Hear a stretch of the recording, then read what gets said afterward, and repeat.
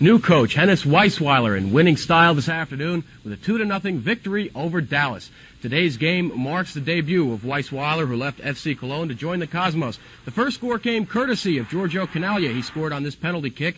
That was his sixth goal of the year. In the second half, Vladislav Bogicevic booted in his first goal of the season to give the Cosmos a 2 0 win. The 41,000 plus on hand managed to endure the rather uneventful contest. Nevertheless, Cosmos fans were pleased with the win. Cosmos are now 4 and 2, and Dallas's record is also 4 and 2.